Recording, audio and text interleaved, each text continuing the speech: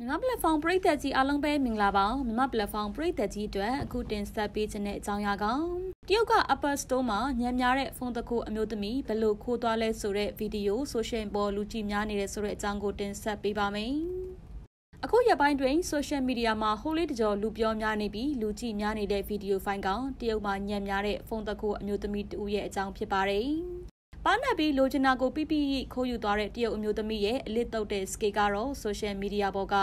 လူပေါင်းများစွာကိုအံ့အားသင့်စေခဲ့ပါတယ်။ကိုပိုင်ငွေကြေးနဲ့မတက်နိုင်လို့မဝယ်နိုင်တဲ့ iPhone brand new အသစ်ဆက်ဆက်ကိုတအားလိုချင်နေတဲ့စိတ်ဆန္ဒကိုမလွန်ဆန်နိုင်တဲ့အဆုံး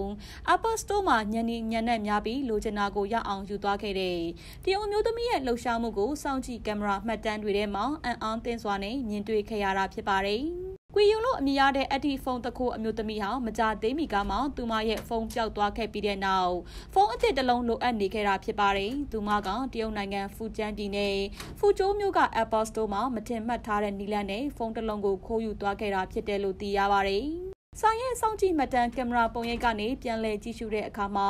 အဲ့ဒီအမျိုးသမီးရဲ့ခိုးယူသွားတဲ့နီလန်ကလူရကကိုအံ့အားသင့်စေခဲ့ပြီးတကယ်လဲအော်ချရလောက်တဲ့ထိပါပဲ။ အွန်လိုင်းပေါ်ပြန့်နှံ့သွားပြီးလူပေါင်းများစွာကြောင့်ဆွေးနွေးညှင်းခုန်မှုတွေဖြစ်ခဲ့တဲ့အတိရုပ်တံဖိုင်ထဲမှာ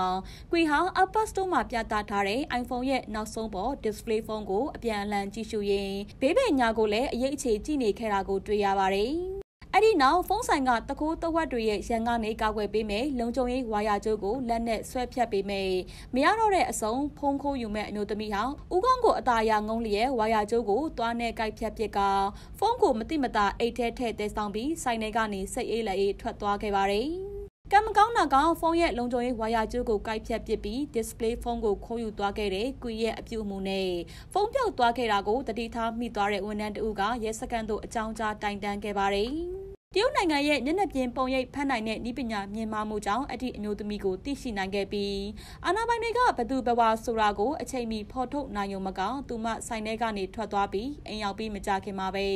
ဖမ်းဆီးထိမ့်သိမ်းနိုင်ခဲ့တယ်လို့သိရပါတယ် တရုတ်သတင်းမီဒီယာတွေရဲ့ဖော်ပြချက်တဲ့အထိကွေယူလို့အပြရတဲ့အမျိုးသမီးဟာမကြသေးမီကမှဖုန်းပြောက်သွားခဲ့ကြောင်းနဲ့နောက်ထပ်ဝယ်ယူဖို့စ조사ခဲ့တော်လဲပဲ iPhone 14 Plus ရဲ့မြင်မာလုံးတဲ့ဈေးနှုန်းကြောင့်မတက်နိုင်ခဲ့ဘူးလို့ရှင်းပြခဲ့ပါတယ်။ ဖုန်းအသစ်ဈေးနှုန်းဟာဒေါ်လာ900နီးပါးယွမ်9000ဖြစ်တာကြောင့်မဝယ်နိုင်ခဲ့တာကြောင့်အခုလိုပဲ Apple ဆိုင်နယ်ကိုဝင်ကြည့်ပြီးဆက်စုရင်ဖုန်းခိုးယူဖို့အကြံစီနဲ့ display ပြသထားတဲ့ဖုန်းရဲ့လုံခြုံရေးဝါယာကြိုးကိုကိုက်ဖြတ်ကောင်ခိုးယူသွားခဲ့တာဖြစ်ကြောင်းပြောပြခဲ့ပါတယ်အခုတော့သူမဟာဖုန်းခိုးမှုနဲ့ထောင်ဒဏ်3နှစ်နဲ့ဒဏ်ငွေရွှေ2သိန်းပေးဆောင်ရမယ့်ပြစ်မှုနဲ့ရင်ဆိုင်နေခဲ့ရတယ်လို့သိရပါတယ်။